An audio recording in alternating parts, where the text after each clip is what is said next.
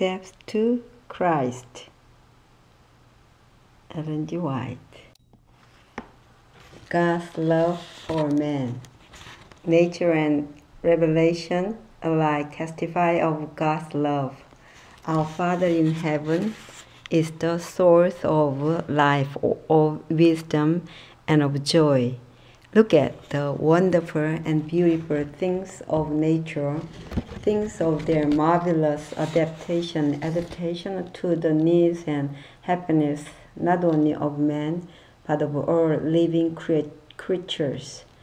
The sunshine and the rain that gladden and refresh the, the earth the hills and seas and uh, plants all speaks to speak to us of uh, the creator's love. It is god who supplies the daily needs of all his creatures. In the beautiful words of the psalmist psalmist the eyes of all wait upon thee and thou givest them their meat. In due season thou openest thine hand and satisf- uh, satisfy, satisfiest the desire of every living thing. Psalms 145 15 16 god made man perfectly holy and happy and the fair earth as it came from the Creator's hand bore no blight of decay or shadow of the curse. It is transgression of God's law, the law of love that has brought war and death, war and death. Yet, even amid the suffering that results from sin, God's love is revealed. It is written that God cursed the ground for man's sake. Genesis chapter 3, uh, 15, uh, 17. The thorn and the thither, the difficulties and trials that make his life one of toil and care were appointed for his uh, for his good as a part of the training needful in God's plan for his uplifting from the ruin and degradation that sin has wrought. The world, though fallen, is not all sorrow and misery. In nature itself are messages of hope and comfort. There are flowers upon the thistles, and the thorns are covered with roses. God's love is written upon every opening bud upon every spire of springing grass. The lovely birds making the air vocal with their happy happy songs. The delicately, delicately tinted flowers in their perfection, perfuming the air. The lofty trees of the forest with their rich foliage rich foliage of living green, all testify to the tender, fatherly care of our God and to his desire to make his uh, children happy.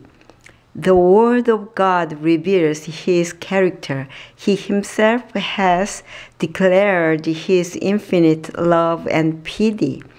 When Moses prayed, Show me thy glory, the Lord answered, I will make all my goodness pass before thee. Exodus chapter 33, 18, 19 verse. This is his glory. The Lord passed before Moses and proclaimed, The Lord, the Lord God merciful and gracious, long suffering and abundant in goodness and truth keeping mercy for thousands forgiving forgiving iniquity and transgression and sin exodus chapter 34 6 and 7 he is slow to anger and of green kindness. Green kindness and uh, because he delight, delights, delighteth in mercy. Jonah chapter 4, 3, Micah chapter 7, 18. God has bound our hearts to Him by unnumbered tokens in heaven and in earth, through the things of nature and the deepest and tenderest earthly ties that human hearts can know. He has thought to reveal, thought to be, thought to reveal Himself to us. Yet these but imperfectly represent His love. Though all these evidences have been given, the enemy of good blinded the minds of men, so that so that they looked upon that they looked upon God with fear. They thought of Him as severe and unforgiving.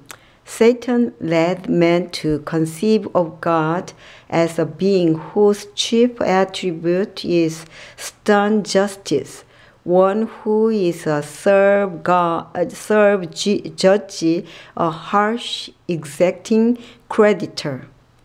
Uh, he pictured the Creator as a being who is watching with jealous eye to discern the, the errors and uh, mistakes mistakes of men, that he may visit judgments upon them. It was to remove this dark shadow by revealing to the world the infinite love of God that Jesus came to live among men. The Son of God came from heaven to make manifested the Father. No man hath seen God yet any time, the only begotten Son, which is in the bosom of the Father, he hath he hath declared him. John chapter 1, verse 18. Neither knows any man the Father save the Son, and he to whom whomsoever the Son will reveal him. Matthew chapter 11, 27 when one of the disciples made the request request show us the father jesus answered have i been so long time with you and yet hast thou not known me philip?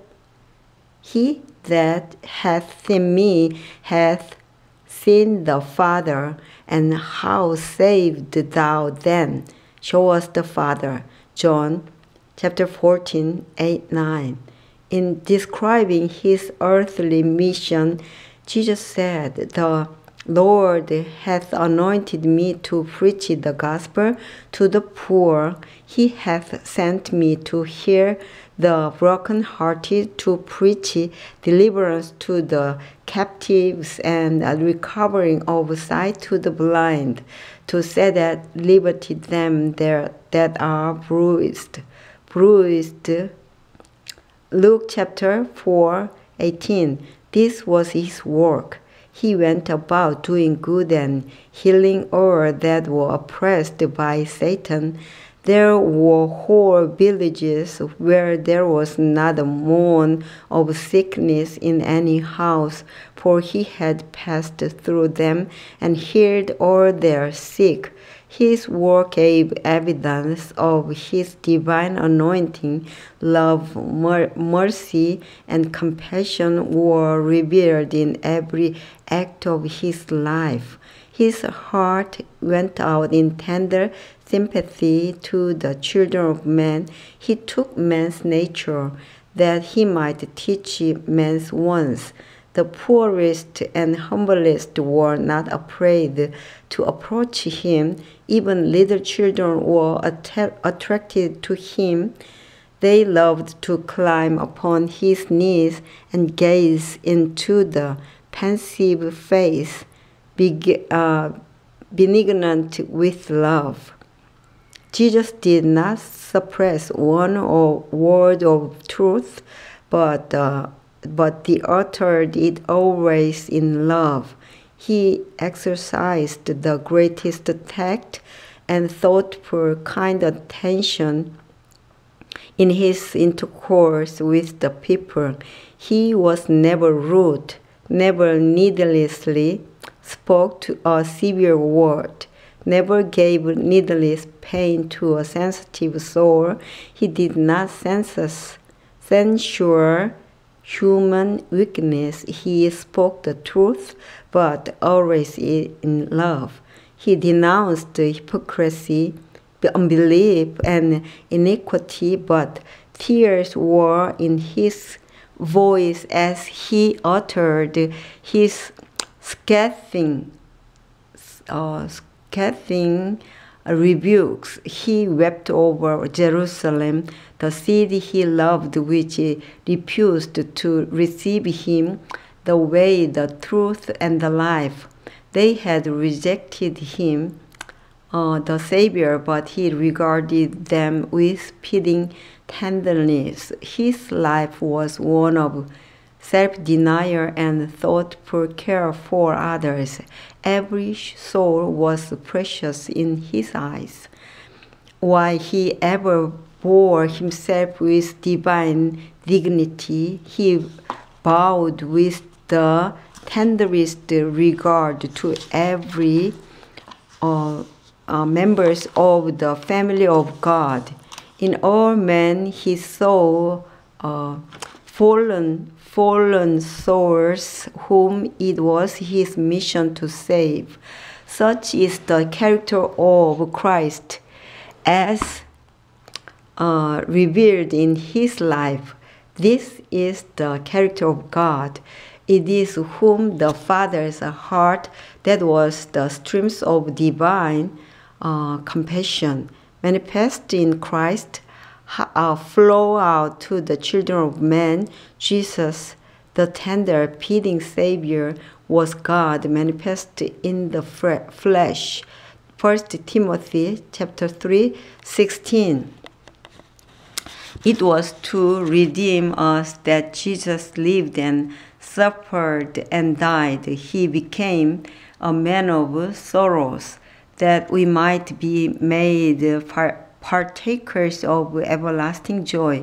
God permitted His beloved Son, full of grace and truth, to come from a world of indescribable glory to a world marred and uh, blighted with sin, darkened with the shadow of death and the curse.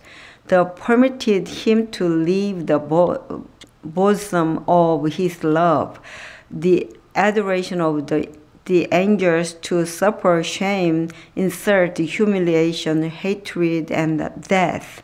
The ch- chastisement of our peace was upon him, and with his stripes we are healed. Isaiah chapter 53 5 Behold him in the wilderness in Gethsemane uh, upon the cross the spotless Son of God took upon himself the burden of sin. He who had been one with God felt in his soul the awful separation that sin makes between God and man. This wrung from his lips the anguished cry. My God, my God, why hast thou forsaken me? Matthew chapter 27, 46. It was the burden of sin. The sense of its terrible enormity, of its separation of the soul from God. It was this that broke the heart of the Son of God. But this great sacrifice was not made in order to create in the Father's heart a love for man, not to make him willing to save. No, no. God so loved the world that he gave his only begotten son. John 3:16. The Father loves us not because of the great uh, propitiation, propitiation, but He provided the propitiation because He loves us. Christ was the medium through um, medium through which He could pour out pour out his infinite love upon a fallen world. God was in Christ, reconciling the world unto himself. Uh, 2 Corinthians chapter 5 19 God suffered with his son in the in the agony agony of uh, Gethsemane the death of Calvary, the heart of infinite love, paid the price of our redemption. Jesus said, Therefore, does my Father love me because I lay down my life that I might take it again. John chapter 10, verse 17. That is, my Father has so loved you that he even loves me more for giving my life to redeem you. In becoming your substitute and surety, by surrendering my life, by taking your uh, the liabilities, your transgressions, I'm endeared to my Father, for by my sacrifice, so God can be just and yet the justifier of him who believes in Jesus. None but the Son of God could accomplish our redemption, for only he who was in the bosom of the Father could declare him. Only he who knew the uh, height and depth, depth of the love of God could make it manifest. Nothing less than the infinite sacrifice made by Christ in behalf of fallen man could express the, the Father's love to lost humanity. God so loved the world that he gave his only begotten Son. He gave him not only to live among men to bear their sins and die their sacrifice.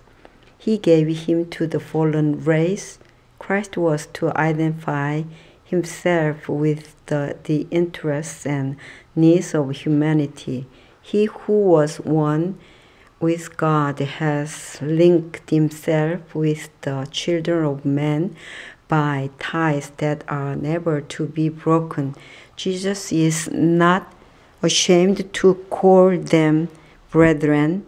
Hebrews chapter 2 verse 11 he is uh, our sacri- uh, our sacrifice, our advocate, our brother, bearing our human form before the Father's throne, and through eternal eternal ages, one with the race, he has redeemed the Son of Man, and or this that man might be uplifted from the ruin and degradation of sin, that he might reflect the love of God and share the joy of holiness. The price paid for our redemption, the infinite sacrifice or uh, sacrifice of our Heavenly Father in giving His Son to die for us, should give us exalted conceptions of what we may become through Christ. As the inspired apostle John beheld the height, the depths, the breadth, breadth of the Father's love toward the uh, perishing race, he was filled with adoration and reverence, and for failing to find suitable language in which to express the greatness and the tenderness of this love. He called upon the world to behold it. Behold, what manner of love the Father has bestowed upon us that we should be called the sons of God. 1 John chapter 3 verse 1 what a value this placed upon man. Through transgression, the sons of men become subjects of Satan through faith in the atoning sacrifice of Christ, uh, or the sons of Adam may become the sons of God. God, by assuming human nature, Christ elevates humanity.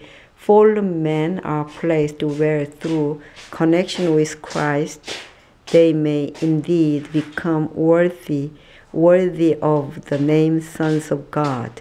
Such love is without a parallel, children of the heavenly King, precious promises.